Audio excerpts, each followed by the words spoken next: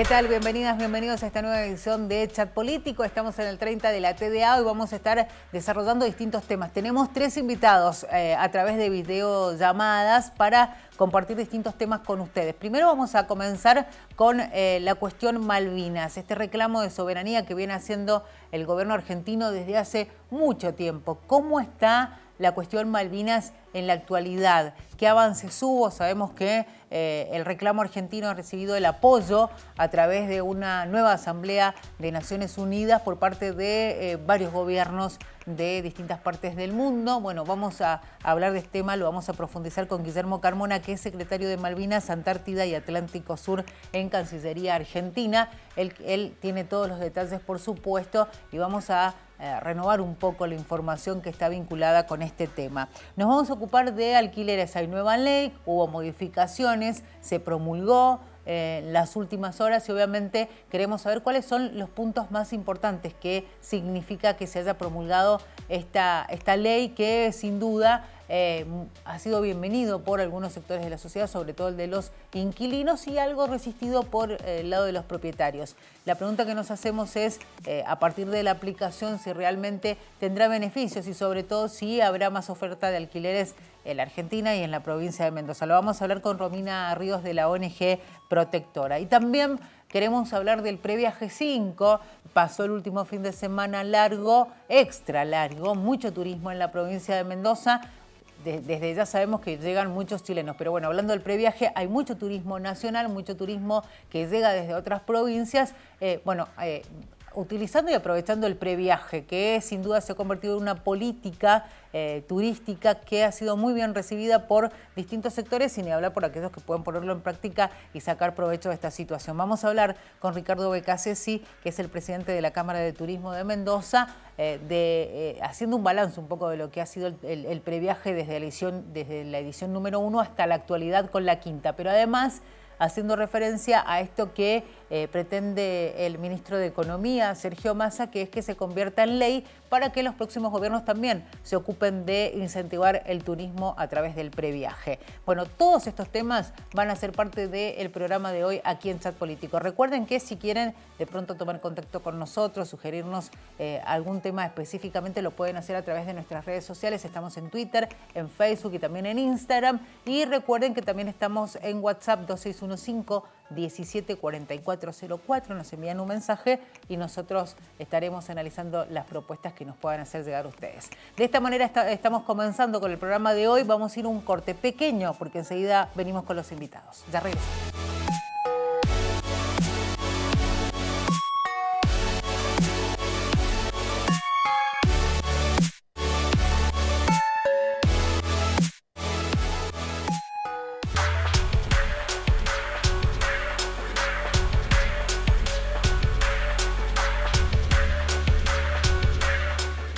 Estamos nuevamente en el 30 de la TDA. Dijimos en el comienzo del programa que vamos a estar tratando temas muy interesantes, eh, en este caso para nuestro país. Y sin duda el tema y la cuestión Malvinas es un tema que nos interesa, sobre todo saber cómo está la situación en algo que los, argentinos y obviamente los mendocinos también sentimos como propio esta cruzada que se hace por el reconocimiento de la soberanía argentina sobre Malvinas, eh, sobre todo teniendo en cuenta qué está pasando con esa postura de nuestro país eh, en cuanto al apoyo internacional. Lo vamos a hablar el tema con Guillermo Carmona, que es secretario de Malvinas, Antártida eh, y Atlántico Sur en Cancillería Argentina, a quien tenemos en comunicación. Guillermo, ¿cómo le va? Bienvenido. Buenas tardes, ¿cómo están? Un gusto.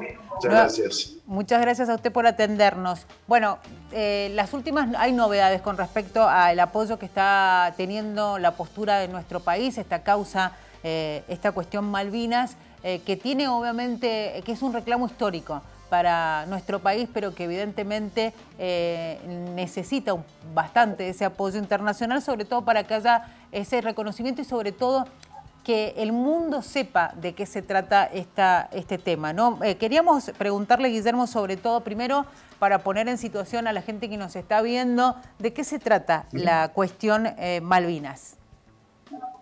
Bueno, eh, es muy importante tener en cuenta que la cuestión Malvinas, si bien vincula principalmente al Reino Unido y, y la Argentina en una disputa de soberanía, es un caso eh, al mismo tiempo de descolonización que tramita ante las Naciones Unidas. En Naciones Unidas hay un ámbito privilegiado en donde la cuestión Malvinas es tratada todos los años, que es el Comité de Descolonización. La sesión se realiza en el mes de junio y allí este año hemos tenido muy importantes apoyos eh, internacionales. Pero hay otro ámbito en el que nuestro país busca acrecentar su presencia, que es el de la Asamblea General de Naciones Unidas. Sí. Y esta ocasión hemos tenido la posibilidad de participar en eh, la reunión de una de las comisiones de la Asamblea General, que es la cuarta comisión, que es la, comisión que repasa los casos de descolonización. Eh, generalmente todos los años, cuando se tratan los casos de descolonización, participan representantes de nuestra embajada ante Naciones Unidas. Este año, para darle más relevancia a la presencia argentina allí, además de estar nuestra embajadora y funcionarios de la embajada, estuvimos presentes yo como secretario a cargo del tema en la Cancillería Argentina y participaron también dos parlamentarios, un diputado y una diputada, que integran el Consejo Nacional de Asuntos Relativos a Malvinas. Eh, ha sido una instancia muy, muy importante porque, a diferencia del Comité de Descolonización, que lo integran 24 países, en este caso hemos estado ante una comisión que le integran los 192 países que forman parte de Naciones Unidas. Y allí hemos contado con expresiones de apoyo muy categóricas que se van sumando a los apoyos internacionales que ya tenemos. Y quiero, quiero enfatizar en este aspecto. Sí. Por tratarse de un caso de descolonización, es fundamental el apoyo de la comunidad internacional eh, por la cuestión Malvinas, en tanto y en cuanto es la propia eh, comunidad internacional a través de las Naciones Unidas la que eh, busca crear condiciones para que esta disputa de soberanía entre la Argentina y el Reino Unido se resuelva definitivamente. Eh, hablando específicamente de esa disputa ¿no? a la que hace referencia eh, y en la que eh, obviamente se viene trabajando durante muchos años, ¿qué es necesario para que se pueda definir, como decíamos, en un tema que es, que tiene su historia, que, del cual se viene hablando más o menos, digo, porque hay gobiernos que tal vez no lo, no lo tuvieron como bandera y ahí le quería preguntar a usted, Guillermo, ¿cómo ha sido el desempeño de los gobiernos en los últimos años en cuanto al reclamo de esa soberanía por parte de nuestro país?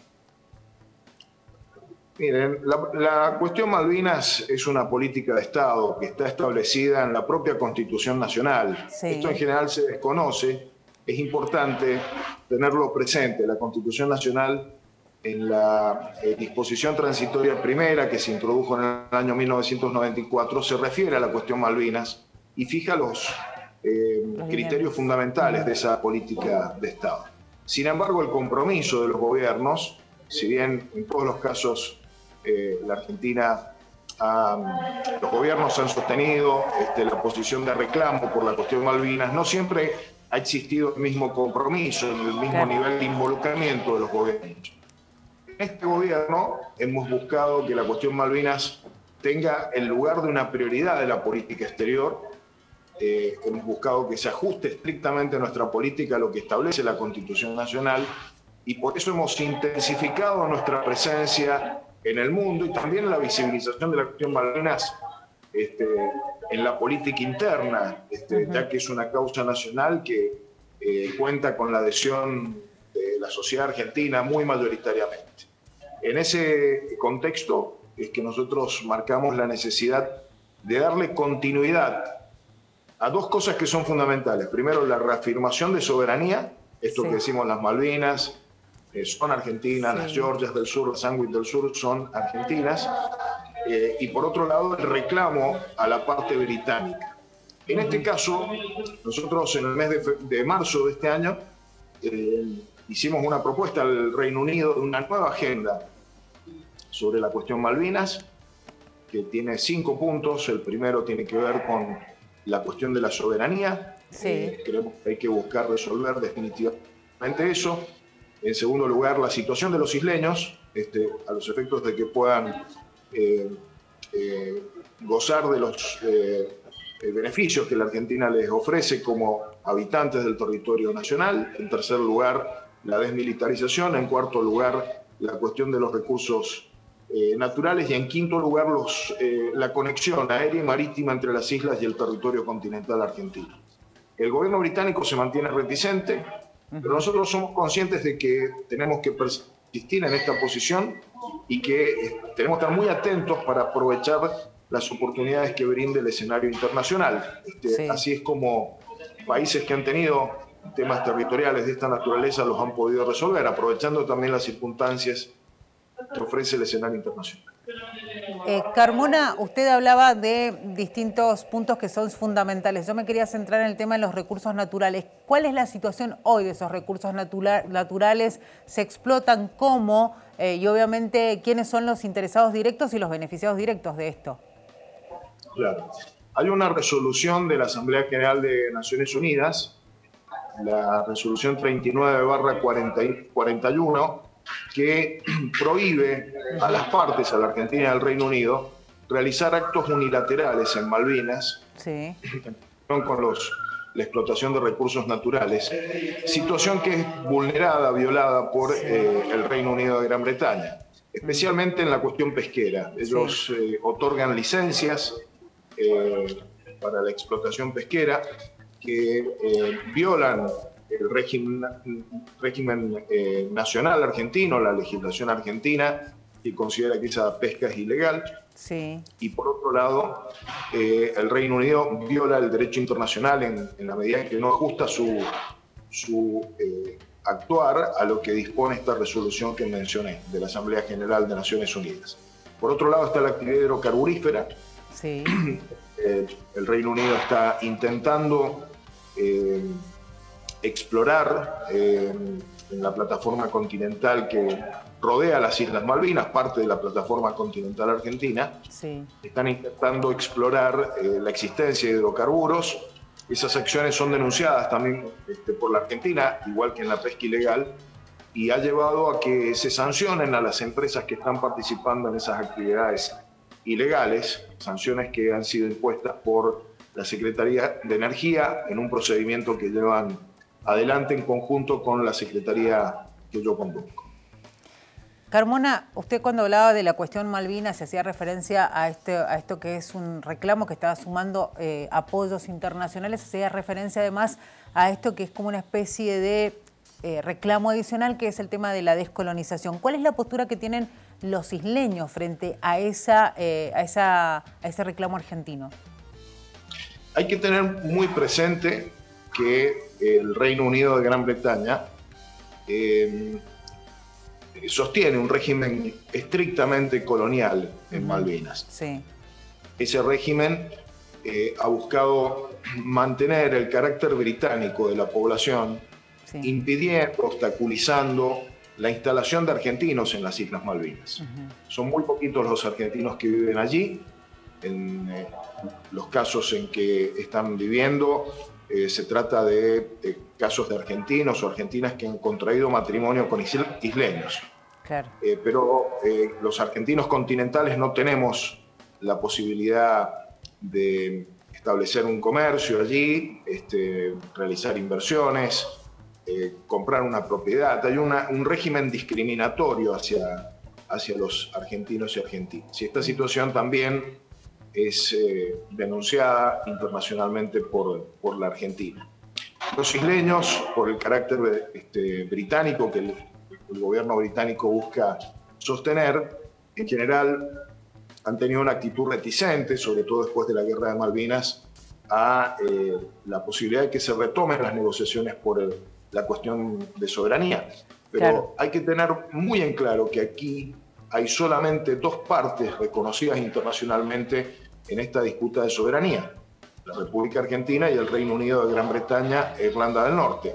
Por lo tanto, esta pretensión de que haya una tercera parte, en este caso los habitantes de Malvinas, no se ajusta al derecho internacional y es rechazada por eh, la República Argentina fundamentalmente porque la propia constitución argentina y la posición tradicional diplomática argentina eh, es la de sostener que quienes habitan las Islas Malvinas son habitantes del territorio argentino y no pueden reconocerse como una entidad distinta a la de este, el gobierno británico o a la del gobierno argentino.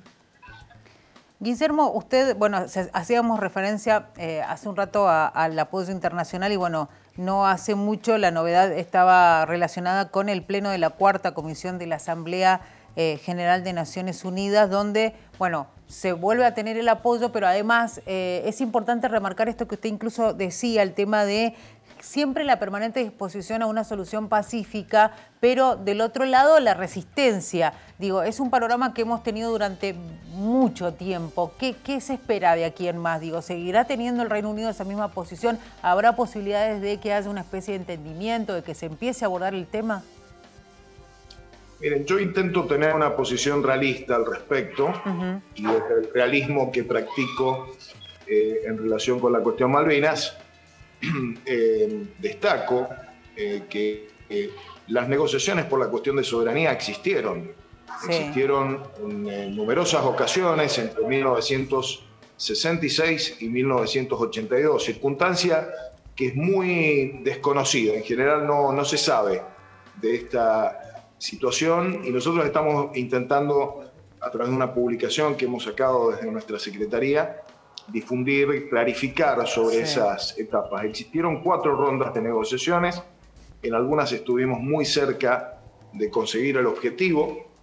En febrero de 1982, meses antes de eh, la recuperación militar de las islas por parte eh, del, del gobierno de la dictadura militar, eh, el Reino Unido había eh, declarado unilateralmente el congelamiento de las negociaciones. Sí. Esta situación tuvo que ver con el contexto en el cual se, eh, se produce la recuperación militar de las islas. y lo que nosotros buscamos hacer es retomar ese proceso que quedó congelado por la parte británica en 1982, en febrero de 1982. Claro. Eh, el hecho de que destaquemos que existieron las negociaciones tiene que ver con el hecho de que destaquemos que eh, no hay dudas de que la Argentina va a conseguir este, la, que, se restablezcan las negociaciones, pero para eso hay que persistir en la posición este, de reclamo, de, persistencia en nuestro reclamo al, Reino Unido y hay que buscar apoyo de la comunidad internacional, buscando aprovechar los escenarios internacionales que presionan sobre la parte que incumple en este caso, que es la parte británica. Fíjense que, por ejemplo, recientemente hemos tenido un reconocimiento muy importante por parte de la Unión Europea. Eso presiona sobre el Reino Unido. Las posiciones de distintos países del mundo presionan sobre el Reino Unido e incluso la situación interna del Reino Unido en algunos momentos muy crítica, como el que está ocurriendo ahora, política, económicamente, también suele ser un factor de presión este, que confiamos que en algún momento va a habilitar la eh, apertura de nuevas negociaciones. Ojalá así sea. Eh, Carmona, muchísimas gracias por estos minutos con nosotros. Muchas gracias a ustedes, ha sido un gusto. Hasta luego. Guillermo Carmona, secretario de Malvinas, Antártida Atlántico Sur, eh, en Cancillería Argentina, ex abogado, ex diputado de la Nación del justicialismo, del peronismo y del Frente de Todos. Bueno, hablando con nosotros de esta causa, ¿no? De esta causa que es tan importante para nosotros, para la Argentina, bueno, lo decía, para el gobierno, en general para los gobiernos que son parte de la historia de nuestro país, porque el reclamo, eh, primero hay que decirlo que es auténtico y segundo que es un reclamo que eh, gobierne quien gobierne se sigue sosteniendo en el tiempo. Eh, seguramente vamos a volver a hablar de este tema, pero bueno, lo queríamos, eh, queríamos hacerlo en estos días con Guillermo Carmona porque hubo novedades en este pleno de la Asamblea de Naciones Unidas, donde además Argentina sigue sumando apoyo, lo que no es un dato menor, no es un dato muy importante. Nos vamos a ir a la pausa, enseguida regresamos, tenemos más chat político para compartir con ustedes. Recuerden, estamos en redes, en Twitter, en Facebook e Instagram y si quieren comunicarse con nosotros, por supuesto que lo pueden hacer. Ya venimos.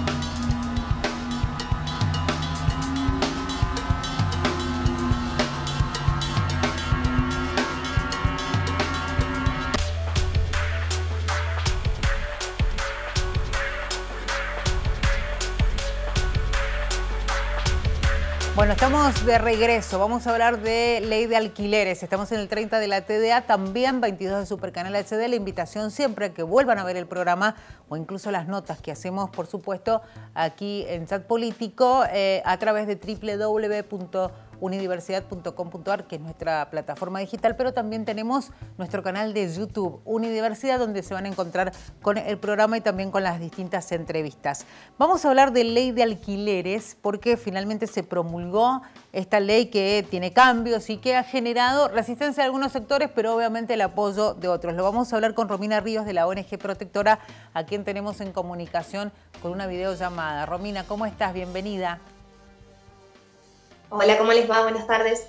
Bueno, muy bien. Esperando hablar con vos para aclarar un poco el panorama, sobre todo para los que están ahí del otro lado y están en esa situación, propietarios e inquilinos. Em, hubo algo de resistencia, Romina. Yo creo que sos la apropiada para definirnos si es positivo que se haya avanzado en esto y que tengamos esta promulgación que se ha dado en las últimas horas.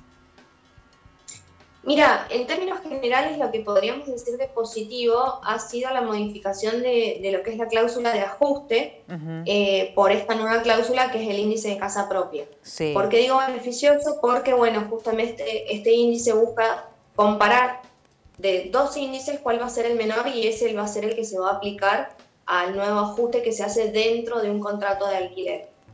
Eh, luego sí, lo demás lo tenemos que ver cuando, ya a partir de hoy, por ejemplo, está publicada en el boletín oficial, así que a partir de mañana ya se comienza a aplicar esta ley. Entonces, vamos a tener que ver cómo se aplica y cómo, cómo se ve en la realidad, que fue lo mismo que pasó en la modificación anterior, que se veía con buenos ojos esa modificación y sin embargo provocó todo lo contrario.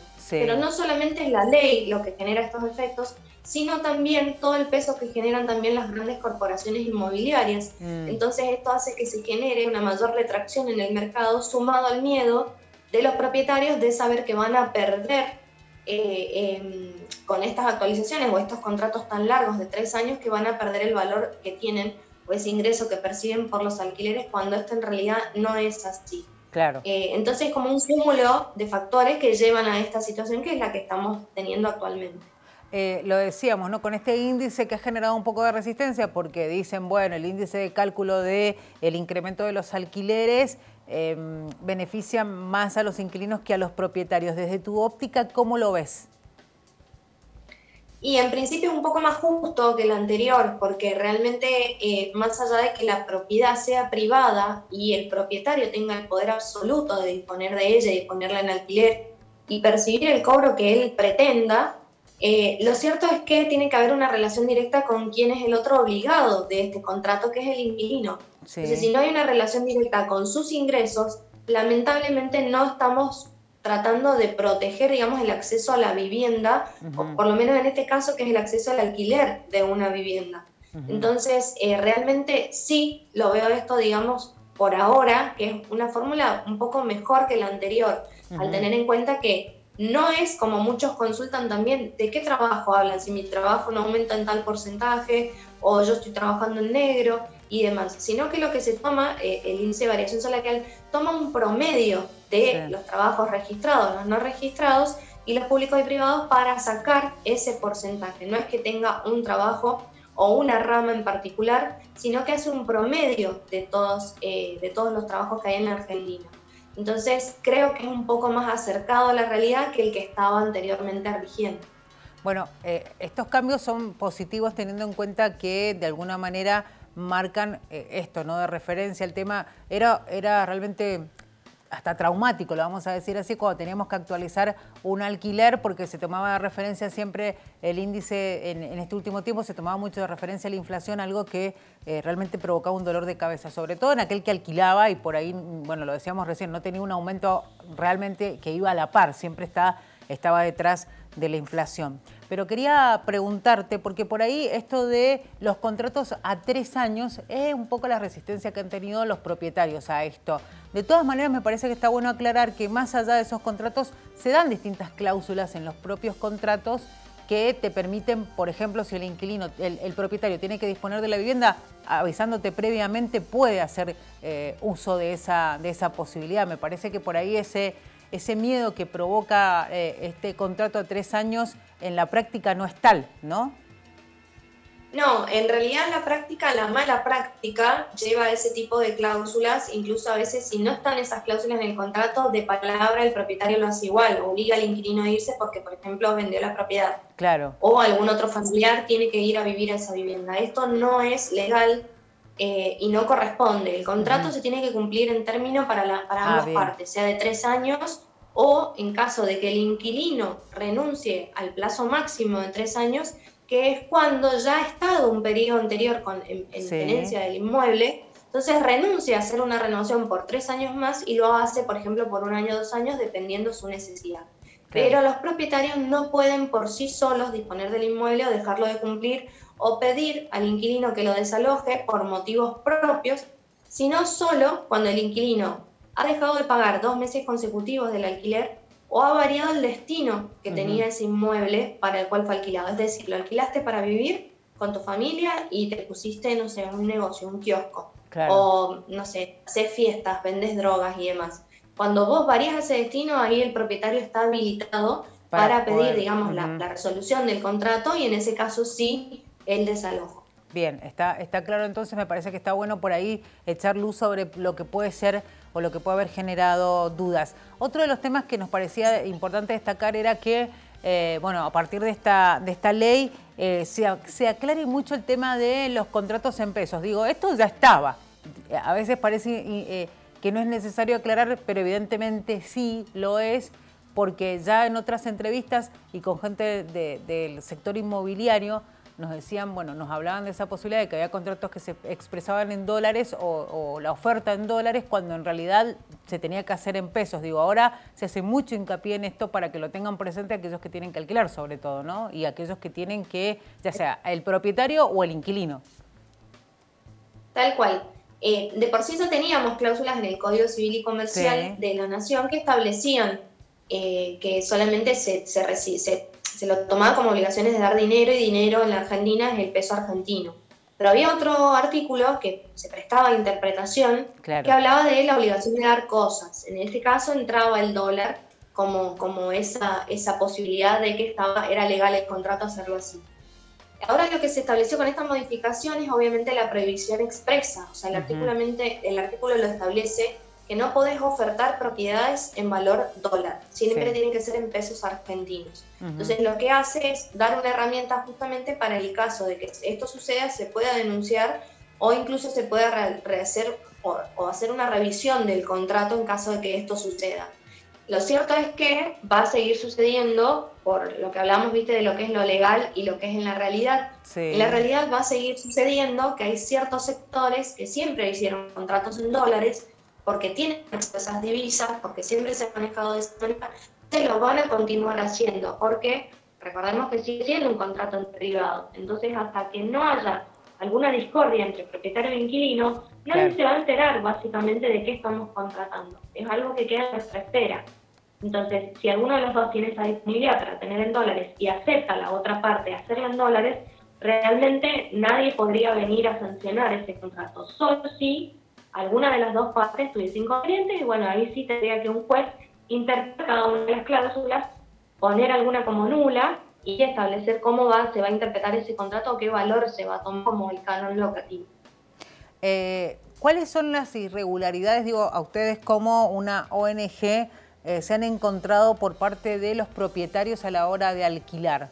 Digo, porque también se habla de eh, alguna especie de irregularidad, trampa, en algún momento se hablaba, bueno, de declarar en la FIP los contratos. ¿Qué pasó durante este tiempo con la otra ley y si es posible que aquel que no lo hizo lo, haga ahora, digo?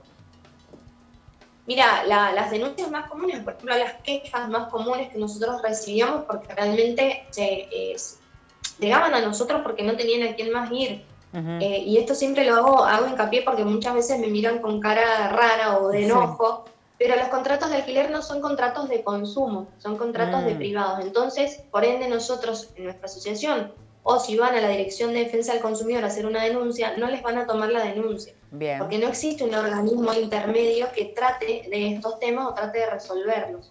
Entonces se genera este problema. Mayormente las denuncias que venían o las quejas que traían es respecto a los cobros que se hacían del ajuste del canon locativo, con la ley anterior era un año, cada un año, ahora con la nueva modificación es de manera semestral, cada seis meses. Entonces, ¿qué hacían los propietarios? Cobraban en el medio, no importaba si era seis meses, tres meses, dos meses, actualizaciones propias. Es decir, le iban diciendo, mira, la, inflación hoy día subió tanto, así que voy a tener que ajustar el mes que viene. Entonces, como los algunos inquilinos no entendían el índice y no entendían esa cláusula que sí tenían escrito en sus contratos, acataban lo que les decía el propietario porque entendían que lo que le estaba diciendo estaba bien. Pero esto se volvió una práctica muy común, entonces pasaba eso que prácticamente había propietarios que actualizaban cada dos meses el canon locativo cuando eso no correspondía. La otra de las quejas más comunes, por ejemplo, es el cobro de las expensas, que generalmente no se hace una distinción o una discriminación entre lo que son los gastos extraordinarios u ordinarios, que habitualmente nosotros los separamos y decimos como las expensas ordinarias o extraordinarias. Entonces, muchos de los gastos extraordinarios, que son de responsabilidad de los propietarios, los dibujaban en las planillas que les vienen a los inquilinos con todos los gastos de las expensas y los pasaban como gastos ordinarios, cuando no ah, eran así. Entonces, evidentemente para el inquilino eso incrementaba de una manera muy grande el monto que pagaba mensualmente, porque si bien es cierto que las expensas no forman parte del alquiler, sí es cierto que para el inquilino vendría a ser como que sale del mismo bolsillo. Entonces pagas alquiler y pagas expensas. Entonces eso generaba también muchas rispideces porque de repente había que arreglar un ascensor que hacía 10 años que no se arreglaba y se les ocurrió hacerlo ahora con, con, el dólar, la inflación que había y decidieron distribuirlo entre todos los inquilinos de un complejo de, de, varios departamentos. Entonces bueno, ahí también queda un criterio de interpretación. Claro. Es decir, hicieron gastos habituales, es decir, hicieron mantenimientos anuales o cada dos años, bueno, podría considerarse que este gasto también vendría a ser un gasto ordinario, habitual. Pero si en 10 años no hicieron las reparaciones para un ascensor, y evidentemente va a ser un gasto extraordinario, porque ese ascensor no se usó, no se reparó, no se hizo el mantenimiento, entonces no es lógico que los inquilinos que no utilizaron el mismo tengan que ahora cargar con esa reparación. Pero como te digo, es una cuestión de interpretación de qué lado estés, de, qué lado propietario o inquilino reclamando, y también en este caso todo lo que es el consorcio de propietarios que no está bien establecido quién tiene responsabilidad, quién rinde cuentas, quién recauda, quién paga. Entonces ahí también han habido un montón de denuncias a los consorcios, a administradores, que ya exceden totalmente lo que es el contrato de locación, de alquiler. Entonces imagínate que ya tenés un montón de problemas más y sin embargo lo que vos eh, alquilaste fue un departamento, nada más. Te trajiste todo un montón, un cúmulo de problemas que realmente eh, son un dolor de cabeza y muy grande. Eh, Romina, mm, haciendo referencia un poco a lo que decías, esto de por ahí el inquilino eh, o el propietario también se equivoca y va a defensa del consumidor a hacer un reclamo y no corresponde. Si tienen que hacer un reclamo, ¿dónde lo tienen que hacer? ¿Alguna denuncia porque no se cumple con el contrato, porque eh, no, se puede llegar a un acuerdo en ciertos temas? ¿A, quién hay que recurrir? Mira, si ha intervenido una inmobiliaria, que son los únicos profesionales autorizados a, intermediar en lo que son los contratos de locación, eh, y ha hecho una publicidad engañosa de su trabajo, es decir, que publicaba una propiedad en cierto valor y a lo mejor lo ponía en dólares o cobraban dólares o cobraban una comisión mayor y no entregaba factura y demás, eso sí podrían llegar a denunciarlo en la Dirección de Defensa del Consumidor y en el Colegio de Corredores Inmobiliarios, que es el, colegio que nuclea a estos profesionales.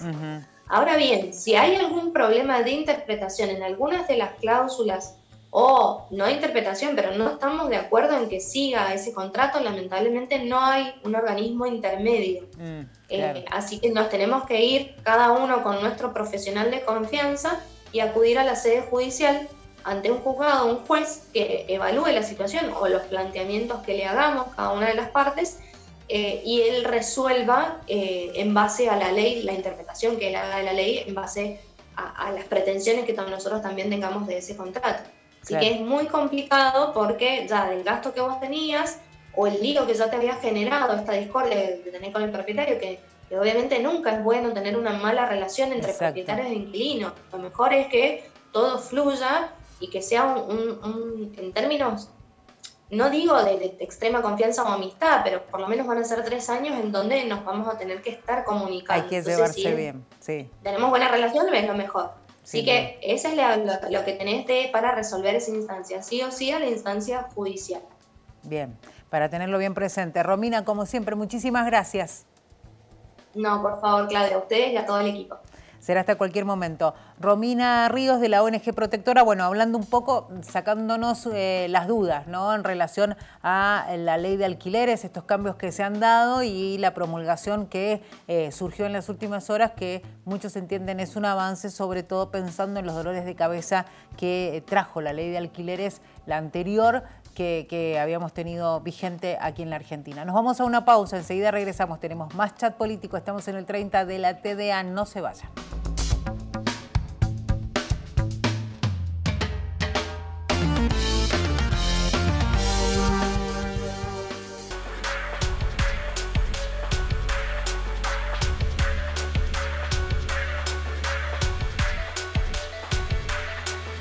Estamos de vuelta aquí en Chat Político. Estamos hablando ya ahora de turismo, es lo que vamos a hacer, especialmente del previaje. Previaje 5 fue lo último que eh, conocíamos en todo el territorio argentino, los datos que eh, arrojaba el último fin de semana extra largo en la Argentina eran muy positivos, tenían que ver con el previaje porque muchos habían decidido utilizarlo para eh, justamente aprovecharlo durante este fin de semana extra largo. Vamos a hablar de este tema porque además la noticia era que el eh, actual ministro de Economía y candidato a presidente tiene como objetivo que se avance en esto como una política pública para los gobiernos que vendrán. Vamos a hablar del tema con Ricardo Becasesi, que es presidente de la Cámara de Turismo de Mendoza, quien tenemos también en comunicación. Ricardo, bienvenido, ¿cómo le va? Muy bien, ¿cómo está usted? Buenas tardes. Muy bien. Bueno, eh, lo primero que le vamos a preguntar es cómo, eh, ¿Qué balance han hecho ustedes después del fin de semana largo, donde hubo mucho movimiento turístico en todo el país y donde además Mendoza se vuelve a consolidar como uno de los destinos elegidos para este tipo de fines de semana? Bueno, efectivamente este fin de semana largo ha sido muy positivo para todo el desarrollo de la actividad turística, es decir, hoteleros, gastronómicos, transportistas, este, han visto casi pleno, digamos, su capacidad operativa y obviamente esto es muy satisfactorio. Bueno, sin duda el, tema del previaje ha sido un gran estímulo para eh, el sector turístico en nuestro país. Eh, usted que ha tenido la posibilidad de, eh, sin duda, transitar todos estos previajes desde el 1 hasta el quinto, ¿qué evaluación hace del programa?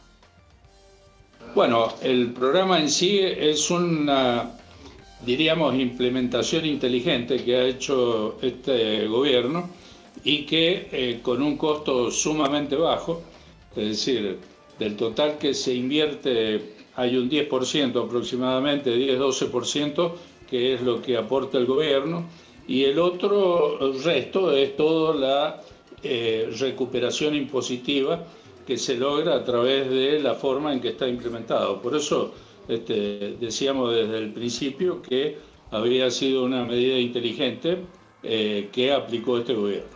Bueno, el, si tenemos que hacer un repaso del previaje, en un primer momento era para la recuperación del sector eh, turístico después de la pandemia, fue eh, cómo se empezaba a implementar, ese era el primer objetivo, algo que fue cambiando, ¿no? Porque después fue, bueno, vamos a a seguir incentivando eh, el turismo en las temporadas bajas, era otra también de las propuestas o de los objetivos del previaje, y ahora ya es instalarlo como una política pública pensando en que los próximos gobiernos también se ocupen de hacer este programa, de seguir replicándolo para seguir incentivando ese, ese consumo turístico ¿no? para, para la sociedad argentina. Eh, ¿Cómo ve esa posibilidad? Y me imagino que obviamente tiene el apoyo incondicional del sector turístico aquí en Mendoza. Bueno, efectivamente, es decir, este, la alternativa que se ha logrado, digamos, con esta aplicación eh, ha sido algo que venimos buscando desde hace decenas de años, que eh, se intente lograr una ocupación media más elevada porque las bajas es decir, al menos, digamos, en nuestra provincia, eh, tenemos aproximadamente seis meses con eh, muy baja ocupación turística y esto este, a través de la implementación del previaje se pudo en parte corregir. Entonces, eh, desde ahí el hecho de que sin duda tanto Mendoza como el resto de las provincias del país, si pueden llegar a implementarse esto, a través de una ley y establecerlo en forma, digamos, permanente, eh, va a contribuir a mejorar esas bajas tan pronunciadas que a veces se producen en el ciclo anual. Sobre todo teniendo en cuenta, digo, se me ocurre pensar en eh, la posibilidad de los propios argentinos de disfrutar los distintos destinos turísticos eh, porque se está pensando más allá de lo que ya se entiende sucede en la Argentina, que es la llegada y de muchos eh, turistas extranjeros. Digo, es, positivo eh, por ese lado. Ahora, la pregunta es, em, de alguna manera la situación económica e inclusive con previaje ha afectado el tema de la llegada de turistas a los distintos rincones del país? Bueno, obviamente de que eh, el efecto no ha sido eh, igual en todos los destinos, mm. pero este, sí ha sido factible utilizarlo prácticamente en la mayoría de los destinos turísticos, o sea que la implementación en sí es positiva y si bien este último tramo, el previaje 5, fue muy limitado, es decir, poco tiempo para poder inscribirse y participar o efectuar las compras y poco tiempo para recuperar también o eh, tener el beneficio, este, ha sido positivo. Es decir, realmente las primeras ediciones, este, el previaje 1, 2 y 3, fueron muy superiores a este último tramo. Pero bueno, eh, en el caso de Mendoza, complementando el previaje más la afluencia importante que tenemos de extranjeros, más eh, la posibilidad durante estos cuatro días para los mismos argentinos de visitar distintas zonas turísticas, es lo que logró una muy buena evolución dentro del eh, panorama que eh, a veces se torna muy difícil en estas épocas. ¿no? Ricardo, la última consulta porque ya tengo que cerrar la nota. ¿Qué, ¿Cuál va a ser la pauta de aumentos pensando en la comparación de un verano a otro aquí en la provincia de Mendoza? Digo esto porque, por ejemplo, en la costa atlántica se empezaba a hablar de algunos porcentajes, hablaban algunos de un 80% de aumento, por ejemplo, para alquileres o para la hotelería en comparación con el verano pasado, pero después quedó en la nada ese porcentaje porque entienden que con una volatilidad de primero de lo que es eh, la, situación cambiar en la Argentina, más la, eh, expectativa que genera la posibilidad de un nuevo gobierno, no permiten establecer, al menos ahora, eh, porcentajes exactos, ¿no? pensando en el verano. ¿Qué dicen acá en Mendoza? Bueno, en, términos generales hay una incertidumbre muy grande y está muy vinculada, por supuesto, al proceso económico y a la evolución o al resultado que tengamos este fin de semana en las elecciones y las medidas que puedan llegar a adoptar, eh, digamos, los funcionarios que van a asumir. Eh, por lo tanto, precisiones no hay. Lo que sí podría decir es de que el ajuste viene acompañando la inflación. Es decir, en la medida en que se producen eh, ajustes de un 10, de un 12, de un 15%, en la mayoría de los servicios se va trasladando y se va aplicando. Por lo tanto, digamos que el, panorama es de un ajuste mensual de un 10% aproximadamente y en espera de, como digo, estos este, nuevos eh, funcionarios que dispongan políticas económicas más claras y más precisas que las que estamos teniendo hasta este momento. Ricardo, muchísimas gracias. Con gusto, a las órdenes, lo que necesite. Encantado. Encantado del contacto con ustedes, eh, con usted. Ricardo Becasesi, presidente de la Cámara del Turismo de Mendoza. Bueno, por ahora todavía no hay una cifra exacta de cuánto puede ser el aumento eh, en eh, lo que es el servicio turístico para el próximo verano, ¿sí? Pero bueno, Ricardo ya decía que se tendrá en cuenta lo que suceda con la inflación en esa comparación interanual, por ejemplo, de diciembre a diciembre o de enero a enero. Veremos cuál es el resultado final, pensando en que Argentina también eh, tiene como mucho turismo interno y Mendoza es una de las grandes plazas también para las vacaciones de verano. Con esto concluimos eh, la jornada de hoy aquí en Chat Político. Ha sido un placer estar con ustedes y al mismo tiempo tocar distintos temas en esta edición de Chat Político. La invitación es para que sigan la programación de Señal U y bueno, eh, que nos reencontremos en la próxima edición de este programa. Será hasta ese momento. Muchísimas gracias.